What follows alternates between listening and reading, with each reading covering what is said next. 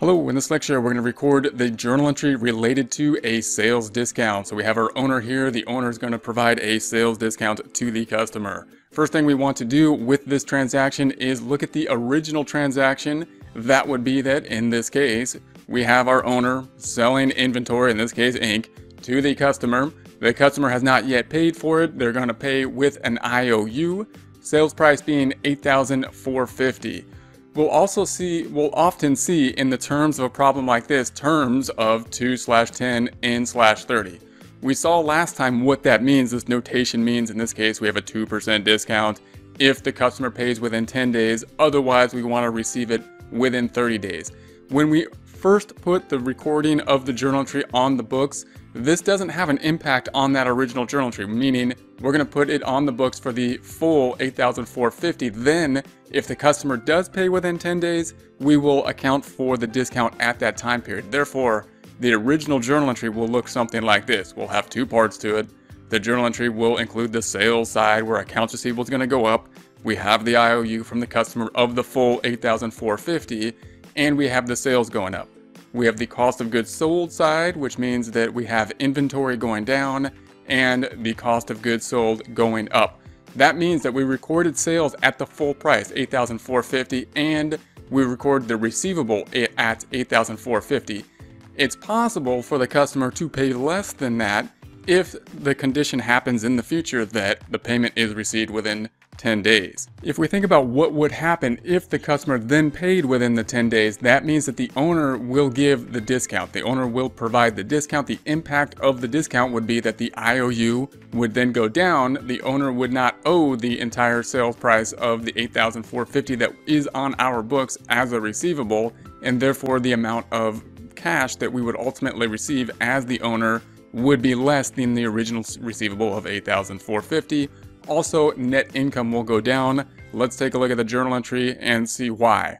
First, we're going to calculate the actual discount. We can do this a couple different ways. I'm going to do it the long way, the way most people tend to calculate it, and then have a shortcut way that might be a little bit quicker. This is important to know. It's really useful because this is the same way we can calculate a discount if we're just going to a store and calculating a sale. Meaning that if we have a 2 slash 10 and 30, 2% discount if we pay within 10 days, therefore what would the amount of cash we would receive in this case if there was payment within that 10 day period. Well, we got the original sales price of 8,450. If we multiply that times 2%, we then have the discount amount of 169. That would be the discount. Therefore, how much would we receive? Well, we have the sales price of 8,450 minus the discount that we calculated to be 169 means that we would get cash of uh, 8,281. Original sales price, the money that we will actually receive after the discount.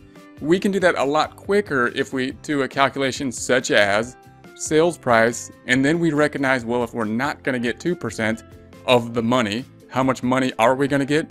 100% minus the 2% or 98%. So if we just take that sales price minus 1 minus the discount or 98% or 100% minus the 2%, we would then get the same 8,281. That's how much cash we are actually going to get Knowing that, let's make the journal entry here. So here's our journal entry. It's going to be posted upper left-hand side. We'll record that to our trial balance on the right. First, we know that we're going to get cash. This is a normal transaction where we got paid.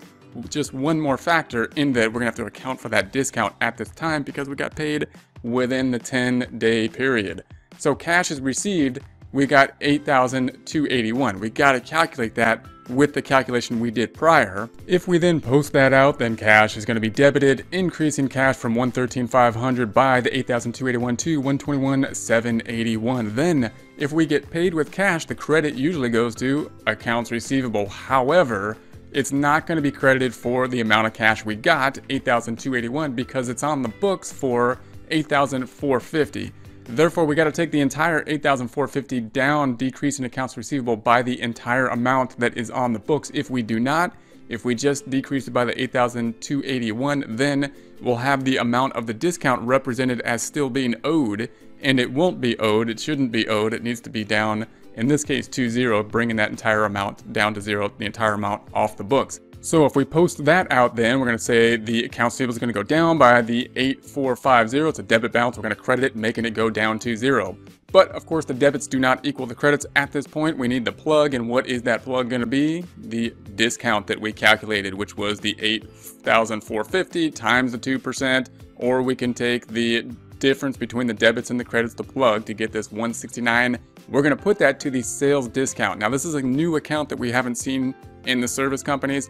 Why do we have it there? You might think that we should be reducing sales. Why? Because we overstated sales. When we put the sale on the books, we recorded it at the full price of 8,450 and we're not getting that much. We're only getting 8,281. We didn't really sell it for 8,450.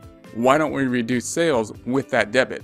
Reason being, we almost never reduce sales. If sales only goes up, we're going to make another account that kind of acts like an expense in that it's going to be debited. It always goes up in the debit direction, but it's really a contra sales account. Really what we're saying is that sales is going to be decreased pretty much by the discount. When we put it on the income statement, it's going to be in the sales section. It's going to act like an expense, however, in that we are debiting it, increasing it in the debit direction, which will bring down net income, impact on the financials on the accounting equation.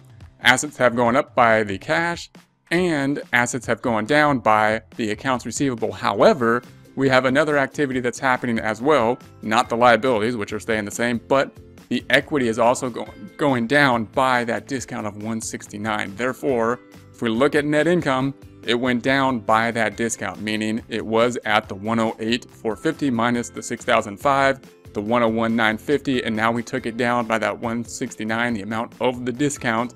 That brings it down to 101,781, which is this 108,450 minus the 169 minus the 6,500. That is net income, not a loss.